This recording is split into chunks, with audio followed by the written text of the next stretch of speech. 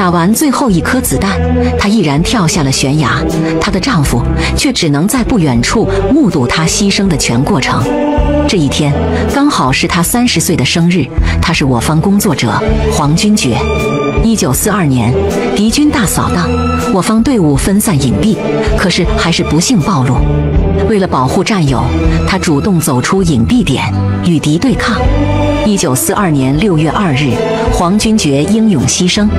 他牺牲时，他的儿子才刚刚出生三个月。向英雄致敬。